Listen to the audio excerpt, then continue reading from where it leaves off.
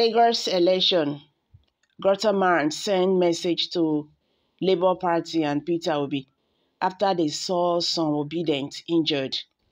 Hey guys, welcome back to Prospect Channel TV. Thank you for always coming out here. If you are just joining us, please kindly do and don't forget to give us a thumbs up. Thank you. Dr. Jeffrey Guterman, a retired psychiatrist, has spoken out after seeing photos of Labour Party activists being attacked in Lagos and elsewhere in Nigeria. As a string of cases, including voter intimidation, suppression, and ballot snatching, were reported in the governorship election that took place on March 8 it is no longer news that this election has been at the center of controversy.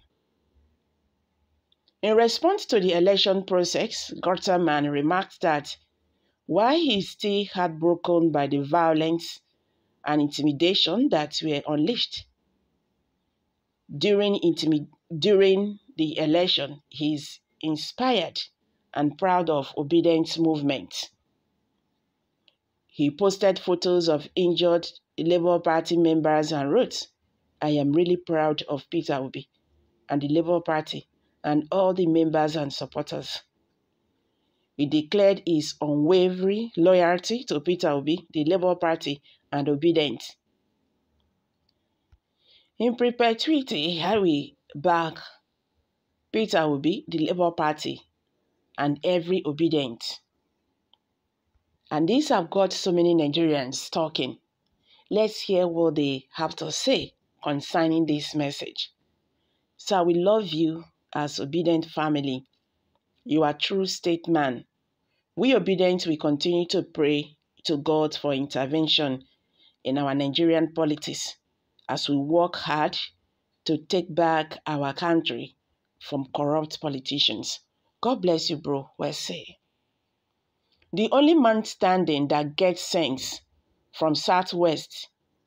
May your days be long. Tribalism won't, won't let others see what you saw. They think Igbos are their problems. They keep electing their oppressors. Obidient did not tell you that they killed someone today oh, in Okota, Lagos, and labeled him a thug. This is one-sided and expected from Obidient, who always claim the victim in every situation. The wickedness of man lives after them. We all shall surely reap that we that which we have sown, be it good or evil, for God is no respecter of persons. God bless you, sir, for your concern. We shall overcome in Jesus' name. Amen. A new Nigeria will come. Either they like it or not. Obidient movement is on top. That is why APC we are taking them or, or tackling them, I mean to say. Yet the Commissioner of Police in Lagos will still urge that there are no violence cases in Lagos. God will judge all of them for concealing the truth. Ha! Thank God we caught you laughing at the rigging and violence and our supporters to regain.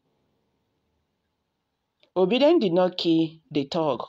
If you watch that video well, it was police. I watched it. Obidient did not have any gun, so stop lying. I believe that one just reacted to one comment there. Peter will be pleased go and rest to enable your strategies for another time. Your successors had been there before they got the mandate. Don't lose focus. Got, get your party men across all the states and start to work now. There will be light at the end of the tunnel. If the light does not come now, it will never come again. Obi is here for good purpose, and he must regain his mandate. These troubles happening now are signs that says nothing good comes easy. God is with us. It is a big shame to Nigeria has these stupid, useless, lazy Yorubas has turned elections to war. Hmm, that's harsh anyway. Okay, guys, these are reactions by Nigerians. Well, the election has come and gone. That is how it happens. And those people who were used as thugs, I believe by now they have they have eaten the money they have given to them. Or if the money big well well, you know, past one week, Abby, go finish. Don't be surprised that tomorrow they will you will call them, they will never pick your call. Why? Because to them you are a useless person. That is why they employ you to do that kind of a job. Go carry pilot bus. Go disrupt elections. Go disturb people. You do you know what your name is? Useless. That is how they look at you. That nothing good will come out from you. They will always use you for those kind of job. And when they are done using you, they are going to dump you. Because that is the only thing you are good of. That is the truth. And that money you have accepted, you have paid yourself for the good four years or eight years to come. And you go back to the street, you go and suffer. The world saw what happened in this election. Politicians do not want to let the power slip out from their hands. So they did whatever they could. They made sure that whatever they lay, they lay hands on this, they, they will, in fact, we won't win this election, we will win this election and we must win the election. Whether by by force or whatever, we must get what we are looking for. Exactly what happened. But I beg, I will ask. The election supposed to be like that. Politics supposed to be a game. That is what they used to say. And if you lose, no problem. You can come back next time. If you win, good. But the process of winning and losing, how is it? That is the most important thing. You cannot tell me that you win in a wrong way and you want me to recognize you and you can never do anything any eh, you can never do any right thing because you did not get your mandate at the right way. People always miss that. That is why in nigeria anything that happens I beg it no matter. I beg make we live on like that. We are still suffering it today.